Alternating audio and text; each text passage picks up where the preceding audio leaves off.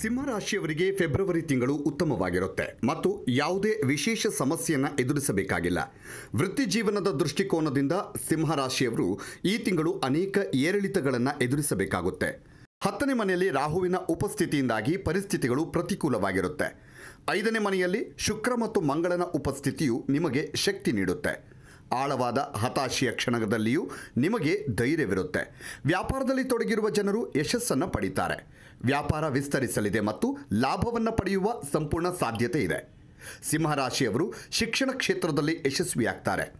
ಐದನೇ ಮನೆಯಲ್ಲಿ ಮಂಗಳ ಮತ್ತು ಶುಕ್ರ ದೇವ ಒಟ್ಟಾಗಿರುವ ಕಾರಣದಿಂದಾಗಿ ವಿದ್ಯಾರ್ಥಿಗಳು ಉತ್ತಮ ಫಲಿತಾಂಶಗಳನ್ನು ಪಡೀತಾರೆ. ವಿದ್ಯಾರ್ಥಿಗಳು ಶಿಕ್ಷಣ ಪಡೆಯಲು ಪ್ರಯತ್ನಿಸುತ್ತಾರೆ ಸ್ಪರ್ಧಾತ್ಮಕ ಪರೀಕ್ಷೆಯ ತಯಾರಿಯಲ್ಲಿ ತೊಡಗಿರುವ ವಿದ್ಯಾರ್ಥಿಗಳಿಗೆ ಸಮಯ ಅನುಕೂಲಕರವಾಗಿರುತ್ತೆ. ಸಿಂಹರಾಶಿಯ ಜನರ ಕುಟುಂಬ ಜೀವನವು ಉತ್ತಮವಾಗಿರುತ್ತೆ. ನಾಲ್ಕನೇ ಮನೆಯಲ್ಲಿ ಕೇತುವಿನ ಉಪಸ್ಥಿತಿಯು ಮತ್ತು ಸೂರ್ಯನೊಂದಿಗೆ ಎರಡನೇ ಮನೆಯ ಅಧಿಪತಿ ಬುಧ, ಆರನೇ ಮನೆಯಲ್ಲಿ ಸನಿಯಾ ಯೋಜನೆಯು ಕೌಟುಂಬಿಕ ಸಂಬಂಧಗಳನ್ನು ಕುಂಠಿತಗೊಳಿಸುತ್ತೆ.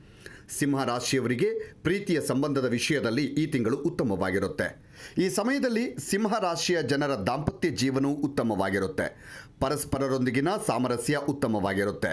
ಕಠಿಣ ಪರಿಸ್ಥಿತಿಗಳು, ಜೀವನ ಸಂಗಾತಿಯ ಭಾವನಾತ್ಮಕ ಬೆಂಬಲವನ್ನು ಪಡೀತೀರಿ. ಸಿಂಹರಾಶಿಯವರಿಗೆ ಆರ್ಥಿಕ ದೃಷ್ಟಿಕೋನದಿಂದ ಮಿಶ್ರವಾಗಿರಲಿದೆ. ಹನ್ನೊಂದನೇ ಮನೆಯಲ್ಲಿ ಮಂಗಳ ಪೂರ್ತಿ ದೃಷ್ಟಿಯಿಂದ ನೋಡುವುದು ಪ್ರಯೋಜನಕಾರಿಯಾಗಿರುತ್ತೆ. ಈ ಕಾರಣದಿಂದಾಗಿ ಆದಾಯದಲ್ಲಿ ಉತ್ತಮ ಹೆಚ್ಚಳದ ಸಾಧ್ಯತೆ ಇದೆ. ಆರನೇ ಮನೆಯಲ್ಲಿ ಶನಿ ಮತ್ತು ಸೂರ್ಯನ ಉಪಸ್ಥಿತಿಯು ಮತ್ತು ಎಂಟನೇ ಮತ್ತು ಹನ್ನೆರಡನೇ ಮನೆಯ ಮೇಲೆ ಅವರ ದೃಷ್ಟಿ ಇರುತ್ತೆ. ಈ ಕಾರಣದಿಂದಾಗಿ ಆರೋಗ್ಯಕ್ಕೆ ಸಂಬಂಧಿಸಿದ ಸಮಸ್ಯೆಗಳಾಗ್ತವೆ. ಸಿಂಹರಾಶಿಯವರಿಗೆ ಸಣ್ಣ ಪುಟ್ಟ ಕಾಯಿಲೆಗಳಾಗಬಹುದು. ದೀರ್ಘಕಾಲದ ಕಾಯಿಲೆಯಿಂದ ತೊಂದರೆಗೀಡಾಗಿದ್ದರೆ ಆಹಾರ ಮತ್ತು ದಿನಚರಿಯ ಬಗ್ಗೆ ಕಾಳಜಿ ವಹಿಸಬೇಕಾಗುತ್ತೆ. ಪರಿಹಾರ. ಪ್ರತಿದಿನ ನಿಯಮಿತವಾಗಿ ಸೂರ್ಯ ದೇವರನ್ನು ಪೂಜಿಸಿ. ಸೂರ್ಯ ಬೀಜ ಮಂತ್ರವನ್ನು ಜಪಿಸುವುದು ನಿಮಗೆ ಉತ್ತಮವಾಗಿರುತ್ತೆ. ಇನ್ನಷ್ಟು ವಿಡಿಯೋಗಳಿಗಾಗಿ ಮೀಡಿಯಾ ಏಟೀನ್ ಕರ್ನಾಟಕ ಚಾನಲನ್ನು ಸಬ್ಸ್ಕ್ರೈಬ್ ಮಾಡಿ ಹಾಗೂ ಹೊಸ ಹೊಸ ವಿಡಿಯೋಗಳ ಅಪ್ಡೇಟ್ಗಳಿಗಾಗಿ ಬೆಲ್ ಐಕನನ್ನು ಕ್ಲಿಕ್ ಮಾಡಿ. Thank you.